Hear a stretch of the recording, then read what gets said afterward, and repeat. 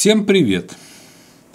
Недавно по делам заходил в Российскую Академию Наук и вспомнил одну давнюю историю. Даже не историю, а одну вдохновляющую любого молодого ученого фразу.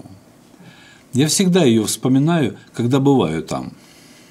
Дело было 30 лет назад, когда я только поступил в аспирантуру.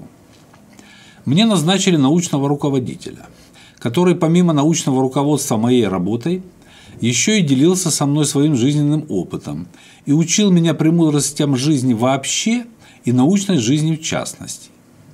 И вот однажды ему по работе необходимо было съездить в Академию наук и отвезти туда какие-то отчеты. Чтобы ему было веселее и легче, он взял меня с собой в качестве носильщика этих самых отчетов.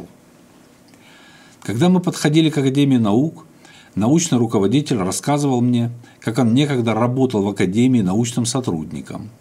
Рассказывал, с кем работал, с кем встречался во время работы, называя фамилии известнейших ученых.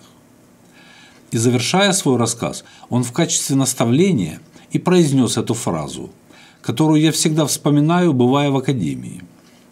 Звучала она следующим образом. Даже если ты зашел поссать в Академию наук – ты уже на шаг приблизился к науке. И в этой фразе есть сермяжная правда жизни. Ведь просто так в Академию наук никто не заходит.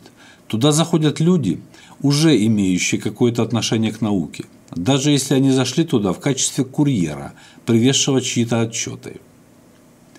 Все дороги ведут в Рим. И если ты серьезно занимаешься каким-то делом, причем абсолютно любым – то сама судьба приведет тебя в главную мекку твоей работы, твоего творчества. Если ты серьезный программист, то обязательно попадешь в Силиконовую долину, может на конференцию, где обязательно встретишься со своими именитыми коллегами. Если ты врач, то обязательно встретишься с корифеями твоей профессии на каком-нибудь симпозиуме. Если ты серьезный рок-н-ролльщик – то обязательно будешь выступать с именитыми музыкантами на рок-фестивалях, о встрече с которыми раньше мог только мечтать. Можешь даже попасть в зал славы рок-н-ролла, как минимум в качестве посетителя, а в идеале в качестве почетного члена. А если ты поставил задачу стать известным ученым, то обязательно когда-нибудь попадешь в Академию наук в качестве академика. И поэтому даже заход в туалет Академии наук это вам уже не шуточки какие-нибудь, а очень серьезное заявление о намерениях стать ученым. Вот такие вот воспоминания. Всем пока.